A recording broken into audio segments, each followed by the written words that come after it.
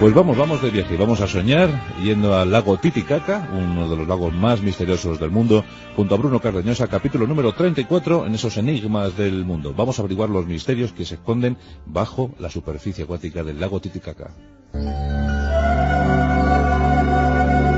Una lágrima derramada por los dioses. Eso es el lago Titicaca, según las leyendas, el más alto del planeta. Sobre las cumbres de los Andes bolivianos se extiende sus 8.560 kilómetros cuadrados a 3.810 metros de altura. Observado desde las alturas, su forma recuerda a un puma, un felino que era adorado por los hombres que erigieron portentosas civilizaciones en aquellos lares de América del Sur. Los orígenes del lago son un misterio tan grande como sus proporciones. Se supone, y así opinan la mayor parte de los arqueólogos, que se trata de una gran masa de agua suspendida del Océano Pacífico. Quizá por ello muchas de las especies de peces que habitan allí son propias de los océanos. Probablemente, estiman los investigadores, en tiempos remotos, hace varios millones de años, las aguas del Pacífico sufrieron un descenso brutal. Como legado de aquello quedó esta lágrima de la que hoy nos ocupamos.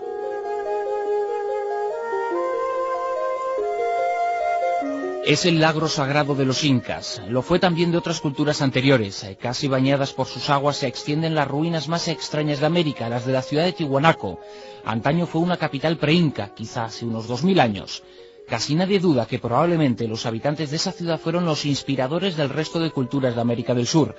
Las mismas leyendas señalan que desde allí partieron los dioses instructores que civilizaron todos los Andes.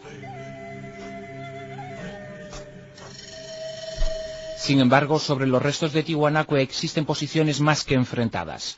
Su monumento más significativo es una mole de 13 toneladas llamada la Puerta del Sol. Se sabe que proporciona juegos de luces con la llegada de las estaciones. Estos juegos eran perfectos hace casi 10.000 años. ¿Supone esto que hay que datar esos restos en esa fecha? Los más arriesgados piensan que sí, e incluso hasta los más prudentes estiman que la Puerta del Sol es probablemente más antigua de lo que se cree. Desde el pasado año un equipo de investigadores encabezados por el italiano Lorenzo Epis está tratando de aclarar el misterio. Pertenecen a un colectivo internacional de estudiosos denominado Equipo Acacor. Han efectuado decenas de inmersiones en el lago, rastreando con esmero y paciencia las costas de las 36 islas del Titicaca.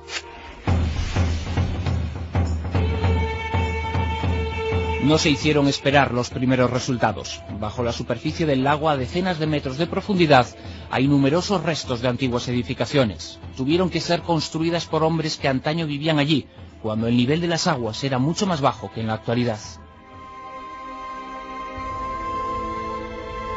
Los exploradores encontraron, entre otras muchas cosas, un gigantesco templo.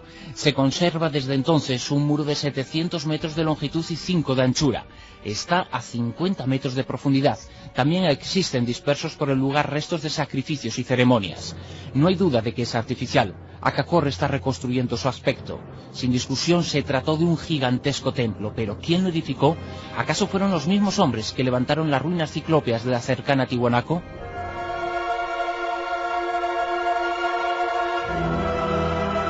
Pero la pregunta más inquietante es otra. ¿Cuándo se construyó? Es necesario para averiguarlo acudir a los registros geológicos. Si el templo está a 50 metros de profundidad, sus piedras tuvieron que ver la luz del sol cuando las aguas se encontraban al menos medio centenar de metros más abajo, es decir, hace por lo menos 4.000 años. Si esto es así, las cronologías aceptadas para las civilizaciones de América deberán ser revisadas de arriba abajo.